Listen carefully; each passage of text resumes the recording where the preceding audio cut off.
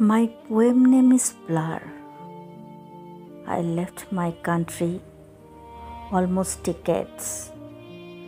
My father died, there my mother stayed. I remember the last day. I remember while I left.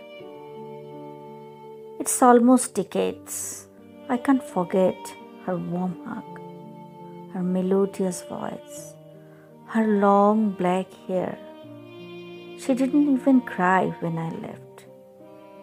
She had waved, still she waits. She gave me confidence, it almost decades. That was a hot summer day.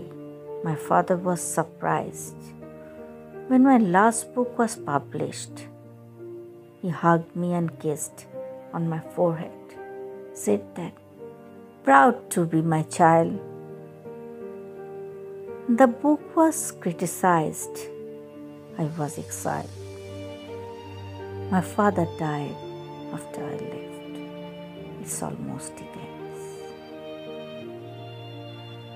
I found everything blur. Days were so far.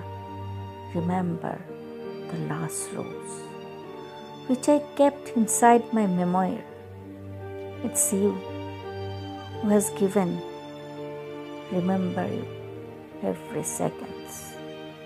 It's almost decades. Thank you.